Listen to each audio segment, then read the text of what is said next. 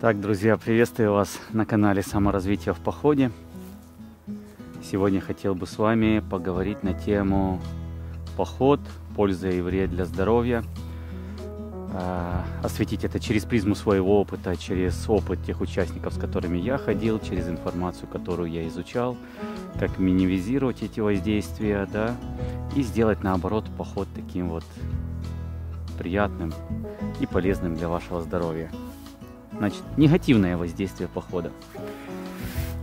Э, первое. Если вы берете неправильное питание, то поход может вас не оздоровить, а может вас прибить. Такое у нас было в самом начале, когда мы там использовали неправильную пищу, когда брали очень много мяса, там алкоголь брали, когда эта пища твердая, э, скажем так, да, потому что вместо того, чтобы питаться там фруктами, овощами, там какими-то вещами, да, а это возможно делать в походе, и мы это делали в последних походах, в этом и смысл нашего канала «Саморазвитие в походе», что мы ходим в походы без алкоголя, мяса и других наркотических веществ и используем практики саморазвития. Об этом запишу отдельное видео. Так вот, э, если э, взять, э, мы ходили, да, вот с мясом и со всем остальным, то это, конечно, э, без достаточного количества овощей, но их можно подкупать в селах, но не всегда это удается. Это не очень влияет на пищеварительную систему, если делать неправильно. В конце видео я расскажу, как это сделать правильно, чтобы наоборот было в плюс. Это недостаток обычного похода, я его назову так, когда ходишь со всем этим запасом, или там сало набрал килограмм, короче говоря, и одним салом в походе в течение дня питаясь, а только вечером там делай супчик. Хотя последние походы, что мы ходили, для меня питание было настолько сбалансированным, здоровым и классным, и не только для меня, все это отметили. Они сказали, мы питались лучше, чем дома, и с точки зрения вкуса, и с точки зрения сбалансированности и полезных веществ. Вот, значит, неправильная пища, когда есть, есть неправильное питание. Второе. Естественно, когда вы ходите, э, тело испытывает экстремальные нагрузки, потому что у вас на рюкзачок. Ага, значит, как сбалансировать первый пункт, правильное питание. Об этом мы сделаем отдельное видео. Второй пункт, это одет на вас рюкзак. Если этот рюкзак а, неправильный, да, значит, смысл правильного рюкзака заключается в том, чтобы вес со всего рюкзака с плеч застегнул, что-то прохладненько становится, перенести с плеч, да, перенести на бедра. Если раньше были рюкзаки, так называемые колобки, ты идешь, а здесь такая круглая штука, и весь вес у тебя на плечах, это значит, что весь твой позвоночный столб компрессуется, короче говоря, хрящи между ними компрессуются, и ты идешь и офигеваешь от того, что у тебя где-то там болит, где-то сям болит, неправильно крутнулся, там что-то могло выскочить то сейчас современные рюкзаки, его заключается смысл в том, что есть набедренный ремень, и весь вес, когда вы идете, он находится у вас вот здесь на бедрах.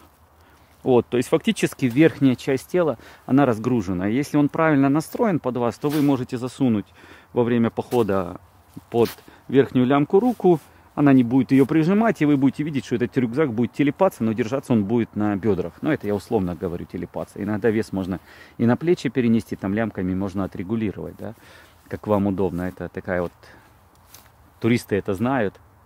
Опять же таки, может запишу отдельное видео по регулировке рюкзака. Будет интересно, пишите в комментах, что вам будет интересно. Мне так будет легче ориентироваться. Благодарю. Вот, и если неправильный рюкзак, то по сути весь вес на теле страдает позвоночник. Дальше, если даже правильный рюкзак, то весь вес у вас на бедрах и больше страдают и колени. Тоже, что происходит при беге. Ну и немножко другие суставы, чтобы минимизировать это воздействие. Конечно, в поход надо брать трекинговые палочки, потому что час веса вы начинаете переносить на руки, особенно во время подъема спусков. Вот при правильном использовании, кстати, обзор трекинговых палок тоже на этом канале будет. Я сделаю два видео, наверное, уже на этот момент сделал. Э, первое это по выбору трекинговых палок, второй сделаю обзор своих. У меня как раз три пары трекинговых палок. Вот, поэтому вы используете трекинговые палки, максимально переносите вес колен. И этот поход даже может быть полезен для ваших суставов. Как это еще минимизировать? Пользуйтесь, друзья, гидратором. Не бутылочками, а гидратором или питьевой системой. Что это такое? Это вот такая вот трубочка, которая висит здесь. Вы ее взяли, попили, короче говоря. и даже не останавливаясь во время похода идете. Когда вы пользуетесь бутылками, то для того, чтобы вам достать бутылку, вам надо остановиться, там, вытянуть ее, попить, вставить. И получается, что когда вы пьете, то вы пьете большую порцию воды, а усваивается в организме всего лишь столько. Остальное все выйдет с мочой, там, с потом и со всем остальным. Но когда вы используете с гидратором, вы пьете потихонечку, там, через каждых там 10-15 минут на протяжении всего похода. И это приводит к тому, что ваши суставы начинают хорошо смазываться. Соответственно, может даже происходить не дегенерация сустава, а наоборот восстановление сустава, потому что будет поступать вода, жидкость в организм, кстати, этому будет еще способствовать масло. Оно определенное масло, потому что оно чистит печень. Печень тоже отвечает за некоторые там вещи, такие как хрящи, сухожилия и все остальное.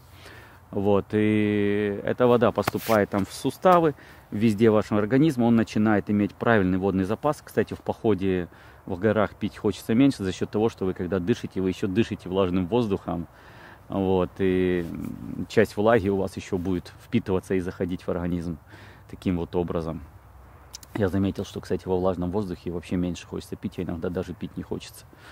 А, вот, и Гидратор это уникальная вещь, советую вам использовать ее на велосипеде в походе.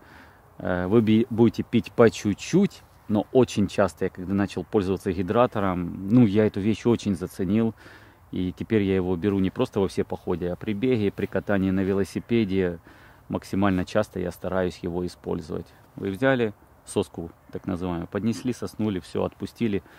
И это делается во время ходьбы, вам не надо никого ждать и не просить, чтобы вас ждали.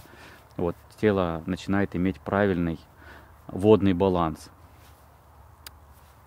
Вот, значит, да, воздействие на костомышечную систему.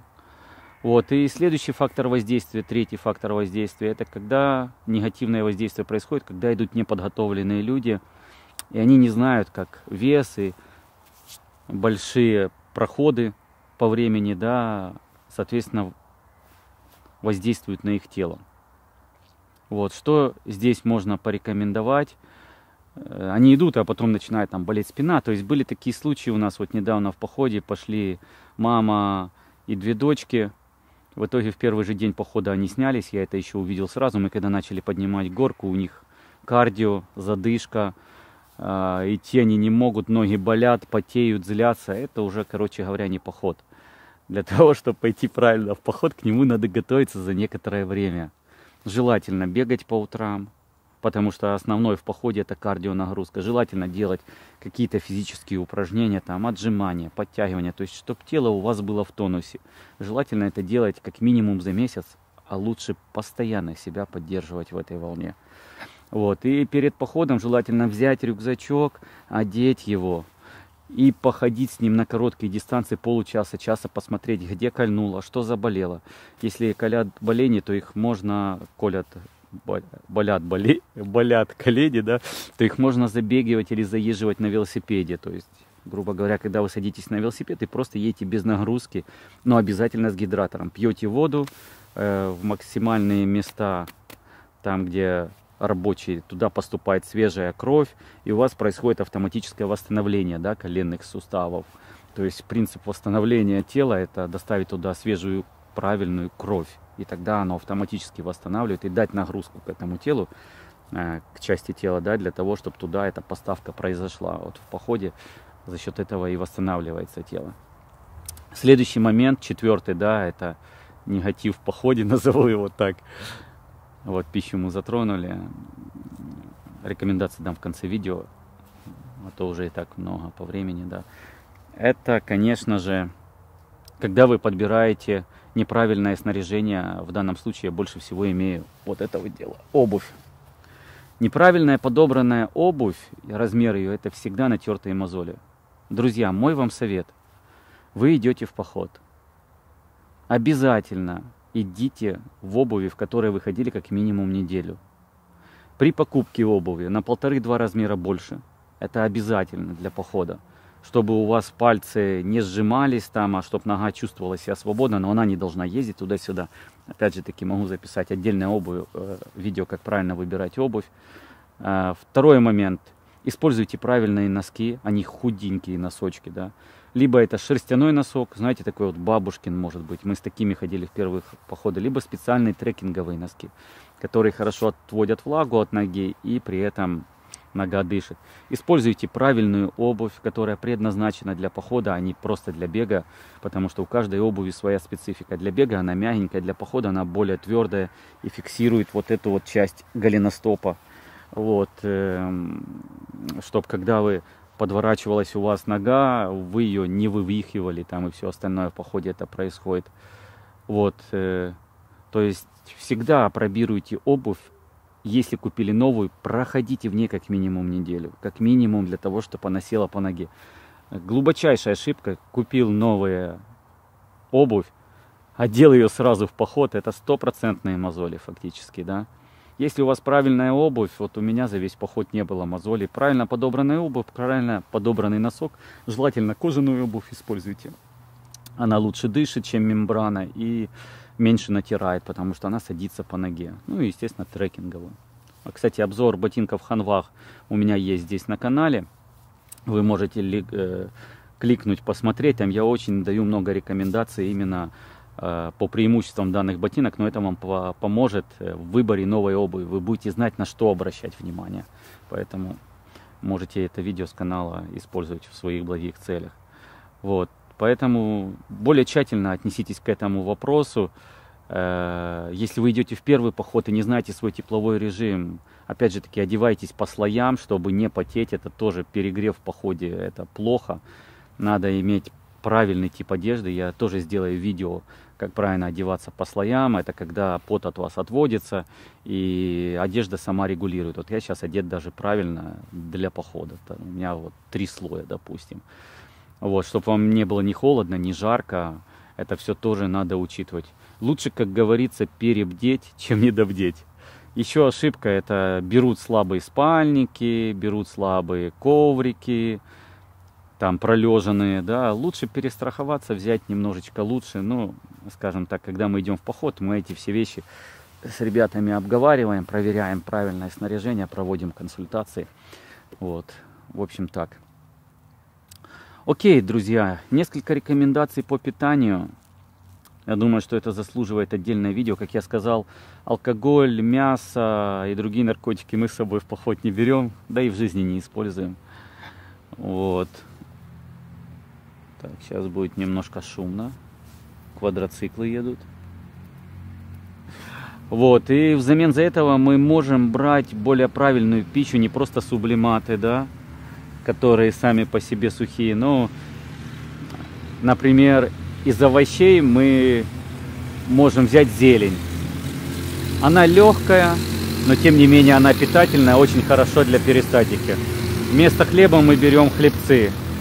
Они сухие, легкие, бездрожжевые. Для похода это вот. Сейчас проедут ребята. Самый крутой лайфхак, который я вам хочу сказать, можете убрать вообще все орешки, которые есть, и вместо них взять кедровые орешки.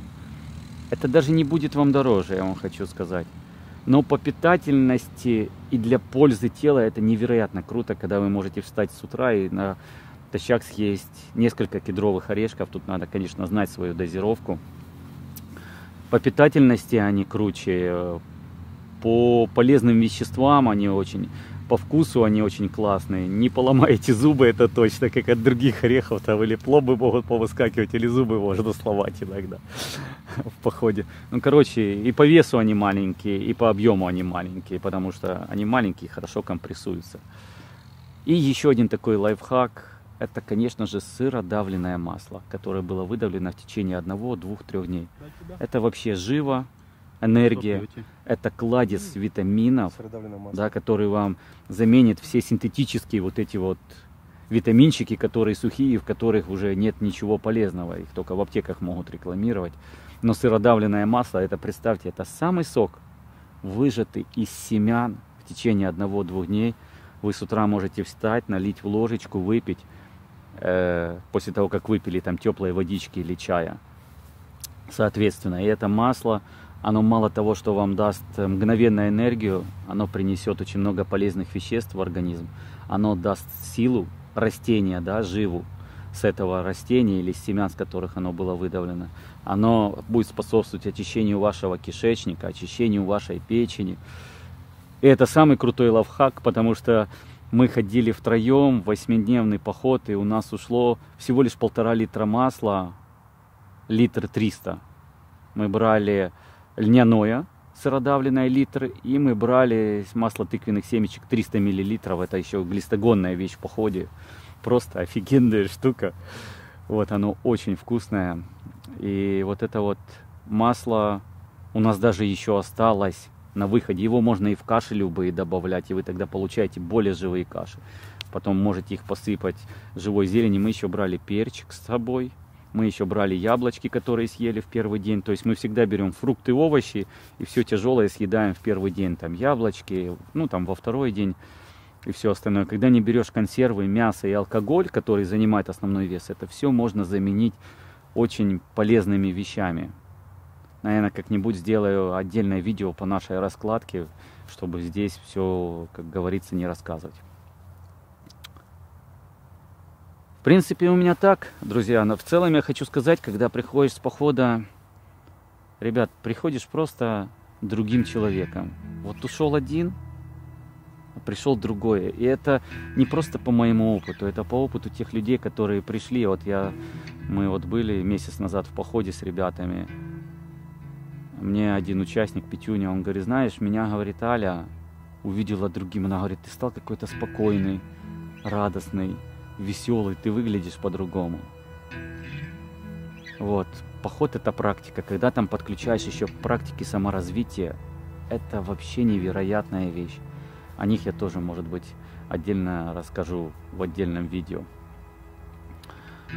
На этом у меня все, дорогие друзья. Будут вопросы, пишите их. Здесь в комментариях будет интересно с нами походить в походы или более пристально наблюдать за деятельностью нашего канала. Подписывайтесь в телеграм-канал, ссылочка есть в описании. Видео понравилось лайк, не понравилось дизлайк. Любые комменты и ваши лайфхаки здесь в комментариях очень приветствуются. Они будут помогать не только мне, но и другим людям, которые будут смотреть и это видео и читать о нем. Я надеюсь, это видео было вам полезным. С вами на связи был я, Денис и канал Саморазвития в походе. Пока-пока.